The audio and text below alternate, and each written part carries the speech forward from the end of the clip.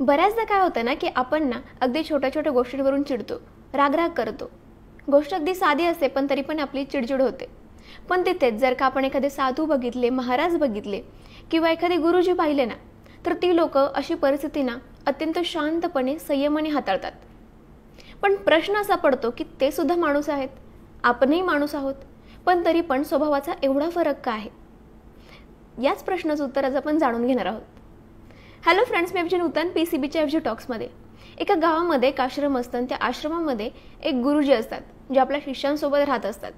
एक दिवशी गुरुजी ध्यानस्थ बसलेले असताना अचानक एक शिष्य त्यांच्याकडे येतो आणि त्यांना म्हणतो गुरुजी काय माहिती पण माझी ना खूप चिडचिड होते. मला खूप राग येतो. परिस्थिती ना मला नीट हाताळताच येत नाही.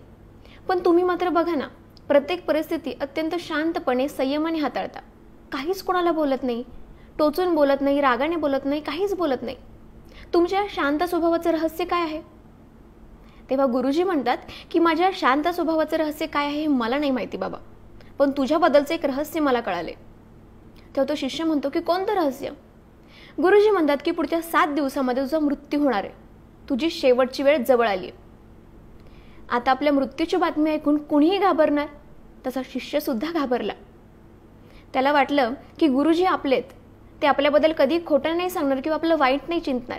ते खरंच बोलत असेल म्हणून त्यांनी त्या गुरुजींचा आशीर्वाद घेतला आणि आपल्या पुढच्या सात दिवसाचा प्रवास करायला मोकळा झाला. तो आश्रमातून बाहेर आला. पण यावेळी आश्रमामधून बाहेर निघणारा हा शिष्य ना खूप वेगळा होता. पूर्णपणे बदलला होता. पुढचे सात दिवस त्या शिष्याने काम केलं. जो कोणी भेटेल ना त्याला त्या प्रत्येकाची तो हात जोडून माफी मागायचा. त्यांना प्रणाम करायचा आणि त्यांना म्हणायचा की मी कळत ना कळतपणे जर का तुम्हाला कधी दुखावलं असेल तुमच्याशी कधी चुकीचं वागलो असेल ना तर मला माफ करा. कृपा करून मला माफ करा. क्षमा करा मला. पुढचे सात दिवस तो शिष्य हाच कार्यक्रम करत होता. सगळ्यांची माफी मागत होता सगळ्यांशी प्रेमाने वागत होता. अखेर सातवा दिवस उजाडला आणि शिष्य आपल्या गुरुजींना शेवटचं भेटावं म्हणून पुन्हा आश्रमामध्ये गेला. गुरुजी ध्यानास्थ बसलेले होते. आपल्या शिष्याची चाहूल लागल्यावरती गुरुजींनी डोळे उघडले. तसं गुरुजींनी डोळे उघडताच तो शिष्य त्यांच्या पाया पडायला लागला. आणि आपल्या गुरुजींना म्हणाला की गुरुजी मला शेवटचा आशीर्वाद द्या. कारण माझ्याकडं अगदी काहीच वेळ शिल्लक आहे.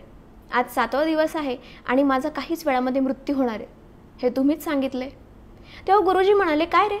कसे गेले तुझे मागचे सात दिवस? तेव्हा तो शिष्य म्हणाला की अगदी छान गेले. खूप शांत होतो मी या सात दिवसामध्ये.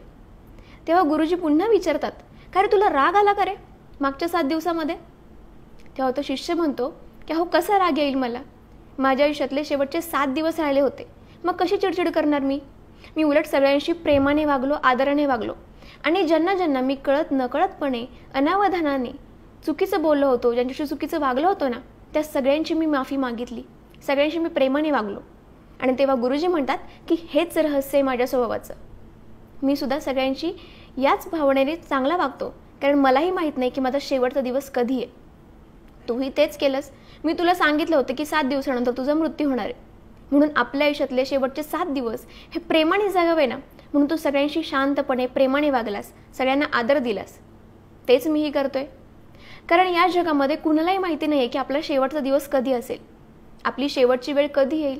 पुढच्या क्षणी काय होईल हे कोणालाही माहिती नाही. त्याच्यामुळे सगळ्यांशी प्रेमानं वागलं पाहिजे आणि हेच माझ्यासुद्धा स्वभावाचं रहस्य आहे. कारण मी शांत आहे. शिष्याला आपल्या प्रश्नाचं उत्तर मिळतं. जो प्रश्न त्याने सात दिवसांपूर्वी आपल्या गुरुजींना विचारला होता. आपलंसुद्धा असंच होतं ना? आपणही एखाद्या छोट्या गोष्टीवरून चिडतो. नंतर कळतं की ती गोष्ट अत्यंत क्षुल्लक होती.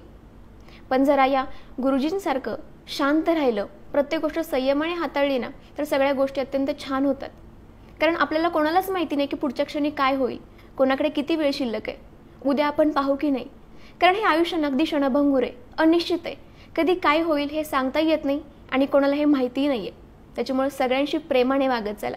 कारण जेव्हा आपण सगळ्यांशी प्रेमाने वागू आदराने वागू ना तेव्हा बरोबर सगळेजण आपल्यावरतीही प्रेम करतील आणि आपलाही आदर करायला लागतील.